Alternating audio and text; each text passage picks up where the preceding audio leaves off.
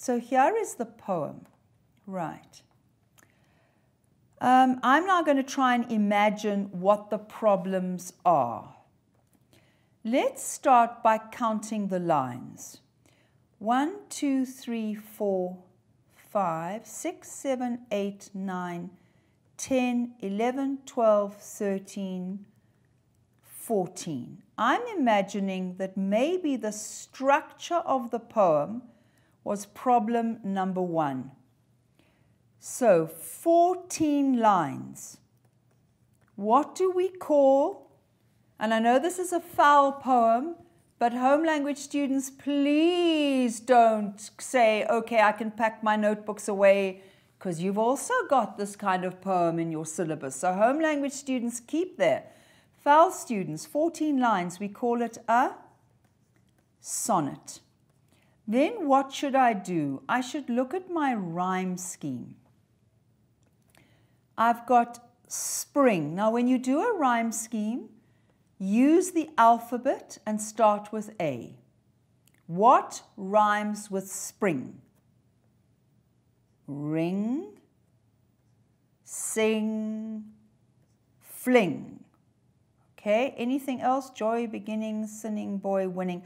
I wouldn't go with beginning, sinning, winning because they've got two syllables. So let's just go with those. Now we go to B. We've got, sorry, that's meant to be A. What am I thinking of? A, A, A, right. Now B. Lush and thrush and brush and rush. Right. Now we go to C. Joy and cloy and boy and beginning and sinning and winning. So what have we got? We've got A, B, B, A, A, B, B, A, C, D, C, D, C, D. Can you see that these lines are linked by the rhyme scheme and these lines are linked by the rhyme scheme? Count the lines. One, two, three, four, five, six, seven, eight. We have an octave. One, two, three, four, five, six. We have a sestet. A poem that is divided into an octave and a sestet with the octave going A, B, B, A, A, B, B, A is a answer Petrarchan sonnet. Now, what do we normally expect? What is the convention of the Petrarchan sonnet? One of the grade 11s asked me about the convention of the soliloquy. What is the convention of the Petrarchan sonnet? The convention is like the rules. But remember, can you break the rules? Think football, of course you can. Right, octave. In the octave, you normally have a problem. And in the sestet, you normally have a solution. So let us look at do we have a problem in the octave and a solution in the sestet? No. So he is following some of the conventions but not the others. So what is the octave about? Very simple. Nothing is so beautiful as spring. And then everything in that octave is telling us how beautiful spring is. So, octave is that spring is the most beautiful season and it provides all the evidence. Now, if the couple of problems were in some of those lines, please won't you send me another message and I can look at that next time. Now we come to the sestet and he asks a question.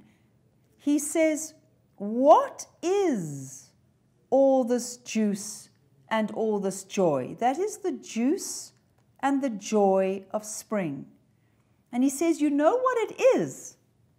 it is a strain, a, a bit of Eden. So when we get to spring, we see what Eden was like. That's what he's saying in the sestet. And then he links it from spring, the season, to girls and boys. So he says spring is a time of juice and joy and innocence and sweetness. And he says, you know, that's what it is in boys and girls, in young people, in you guys. And he he prays, he prays to God, to Christ, and he says, Please, Christ, keep young people full of juice and joy and sweetness and innocence. Don't let them sin and become clouded and soured. Keep them sweet. Okay, so your octave, description of spring, the season. Sestet, a link from the season in the world, in nature, to the season in young people.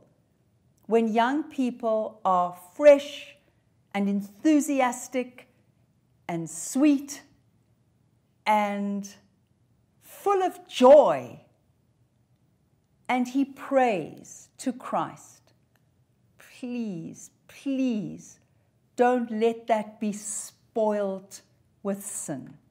Please keep that attitude in their minds. So the octave, the season, the sestet, linking to human beings, young people, and a prayer to God to maintain spring in young people.